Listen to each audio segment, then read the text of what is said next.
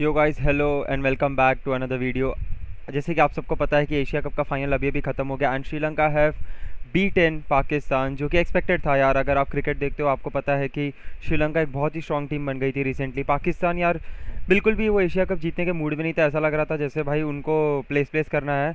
यार ये बाबर आज़म और रिजवान आज भी कैसे ओपन करते हैं, मुझे समझ नहीं आता। बाबर आज़म को बोलते थे कि number one T twenty batsman है, वगैरह वगैरह वगैरह। भाई थूक है वो बंदा, भाई कुछ नहीं करता है, खाली मतलब और रिजवान के भी क्या रन्स बन रहे यार? ऐसे रन्स बना के तो भाई तुम गाँव चले जाओ, मत ही खेलो यहाँ पर। ये टी ट्वेंटी है भाई वनडे नहीं है कि, या टेस्ट नहीं है कि तू ऐसे खेलेगा इनिंग्स और लोग क्लैप करेंगे भाई रिजवान डटारा।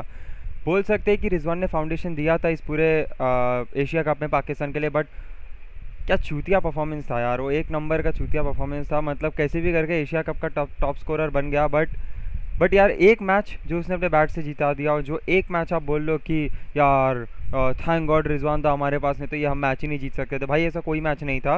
रिजवान ने कोई गेम चेंजिंग इनिंग्स खेली ही नहीं है। मतलब एक साइड से बस इतना आप उसके लिए शुक्रगुजार हो सकते हो कि भाई उस बंदे ने थोड़ा पाकिस्तान की नाक बचा ली इज़्ज़त बचा ली कि भाई उसने एक साइड से छोड़ पकड़ के रखा। बट टॉक अबाउट श्रीलंका यार। 58 पे पाँच होने के बाद जो भानुका राज, राजापक्षा और वनिंदु हसरंगा यार उन्होंने जो पार्टनरशिप बना के 120 तक लेके गए थे गेम को उसके बाद वनिंदु भी आउट हो गए थे लेकिन भानुका राजापक्षा यार आज वो दिखाया बंदे ने कि उस बंदे का कितना टैलेंट और कितना पोटेंशियल है इस श्रीलंकन क्रिकेट को आगे लेके जाने के लिए। और मैं ये बोलूँगा कि हमें नया यूथ नया एक जनरेशन दिख रहा है श्रीलंका का। ऐसा लग रहा था कि जैसे कुमार संगकारा और मैथ्यूज़ और मलिंगा ये सब जाने के बाद श्रीलंका डेड हो गई है और हो गए थे, वो किसी से भी हारना स्टार्ट हो गए थे। बट ये जो अभी एशिया कप हुआ है और इससे पहले भी जो वो थोड़ा मोमेंटम पकड़ रहे थे फाइनली वो श्रीलंका वापस दिख रही है जो हम श्रीलंका को जानते थे। एक अटैकिंग साइड एक फाइटिंग साइड और एक पैशनेट साइड जो इतने टाइम से मिसिंग थे श्रीलंका में, और आप लोग इमेज में देख सकते हो इस साइड कि श्रीलंका अभी अभी ये सेलिब्रेशन है वैसे, ये अभी अभी उन्होंने एशिया कप जीता है। और वेल डिज़र्व मैं बोलूँगा यार वेल डिज़र्व और वो कोई उनका बॉलर था if I am not mistaken उसका नाम था हाँ प्रमोद मधुसन। यार वो फाइफर नहीं मिला बंदे को ही वॉज़ वेरी अनलक्की वो फाइफर डिज़र्व करता था। एब्सोल्युटली सुपर बॉलिंग यार। मतलब जैसा पिच डिमांड करता था, वैसी बॉलिंग आई, सब कुछ हुआ। लेकिन यार पाकिस्तान ने गलतियाँ क्या की? पाकिस्तान ने बॉलिंग तो ख़राब नहीं की, मैं ये नहीं बोलूँगा। चलो ठीक है 58 फॉर फाइव तक तुमने श्रीलंका को ये कर दिया था। और भाई, पहली बात तो वो बात करेंगे यार, वो क्या कैच में वो अजीब सी कॉमेडी हुई है। Pakistan are famous for that comedy things यार। मतलब वो कॉमेडी करने के लिए बहुत फ़ेमस है। उनका कुछ ना कुछ ऐसे कार्टून बनते ही रहते मीम्स बनते ही रहते। ये sorry if you are a Pakistani and watching this video but तुमको ही पता है यार, हर बार तुम्हारे फील्डर्स ऐसा कुछ चोकिंग फील्डिंग करते ही है। अब वर्ल्ड कप याद कर लो, हसन अली ने वो कैच छोड़ा था। उसका याद ही है मैथ्यू वेड ने अगले तीन बॉल में क्या किया था तुम्हारे साथ। तो भाई ये तुम्हारा फील्डिंग से ही मैच हारने का लिखा है, बरसों से और लिखा रहेगा आगे भी, जब तक तुम लोग कुछ ऐसे मतलब फील्डिंग साइड स्ट्रॉन्ग करने की कोशिश ना कर लो। बट यार पाकिस्तान ने बैटिंग में किया क्या? क्यों भाई, क्यों बाबर आज़म और रिजवान ओपनिंग करते हैं तुम्हारे लिए? मतलब कोई भी एक पावर प्ले मुझे याद नहीं है, जहाँ उन्होंने छः ओवर में साठ ठोक दिए हो इस एशिया कप में। ऐसा हुआ नहीं है।